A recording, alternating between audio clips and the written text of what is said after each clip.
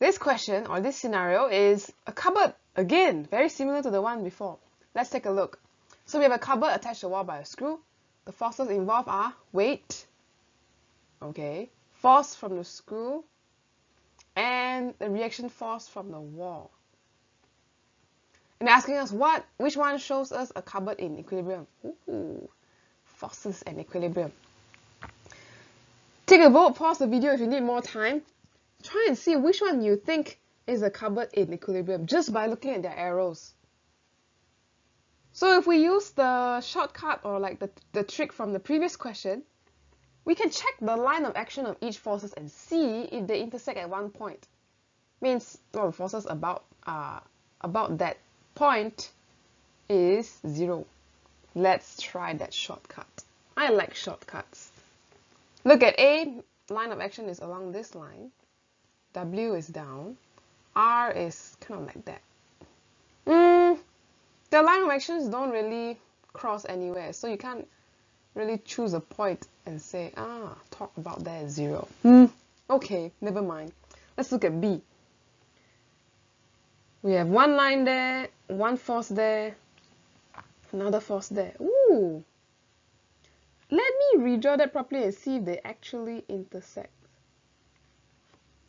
So two forces are already intersecting. What about the third one? Hey, look at that. They do intersect. In fact, they intersect at a point right there, which happens to also be the nice center of gravity for this object. Nice. So in this case, you can say there's a net torque of zero because all their lines of action intersect. So I would choose B to solve it. Let's check the others just to be sure. Line of action, line of action, line of action. Wow, this is everywhere. Looks like R and S are kind of like top of a couple. So this R, this S, kind of like a couple because they are looks like they're same magnitude but different direction. So it's gonna cause your poor cupboard to go like wham here and then this side will go down. It goes whoosh. Doesn't quite doesn't quite seem correct. okay. Mm. Next one. S is pointing in a very strange direction. Shouldn't this S force be holding the cupboard to the wall? Why is it pointing out? Straight away you can see like, mm, this S something wrong already. But anyway, let's check the line of action. Line of action, line of act, why, yay, Line of action, and the line of action. There we go. Oh, look at this tricky question. The lines of action intersect. There's just one problem with this thing. Your S force is pointing the wrong direction. The screw, if you draw it out,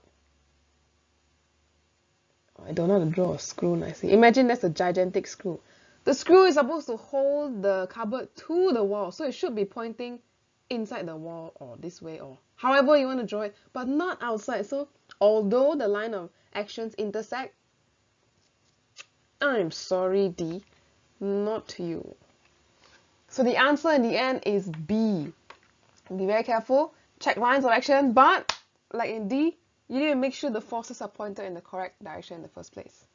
Weight is down, reaction force is pushing out, and the screw is holding it in.